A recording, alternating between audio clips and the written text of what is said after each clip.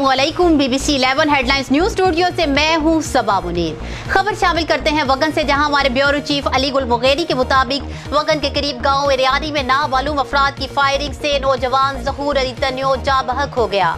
गाँव कोट तनियो का रिहायशी नौजवान जहूर अली तनियो अपने दोस्त की शादी की दावत पर जा रहा था कि गाँव के बाहर मोटरसाइकिल सवार नामालूम अफराद ने मोटरसाइकिल छीनने की कोशिश की, जिसके बाद नौजवान ने मजम्मत की तो नामालूम अफराद ने नौजवान को कत्ल कर दिया और मौका से फरार हो गए।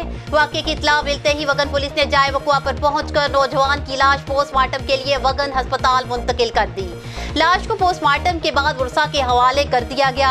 जबकि लाश के घर पहुँचते ही वर्षा गम से निढाल हो गए।